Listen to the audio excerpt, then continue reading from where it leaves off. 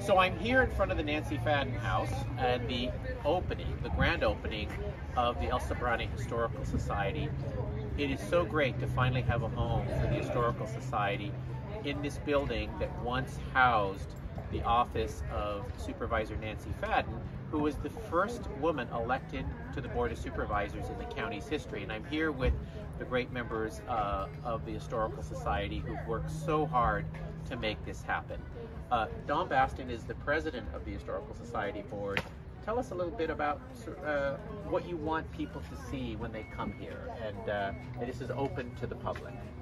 Well, I think what we want people to see is the history of El Sobrante. Every every community deserves and needs a historical society preserve the history, that collective memory of any community, and that's what we're here for. And we are totally dependent on contributions of artifacts, photos, documents from our local community.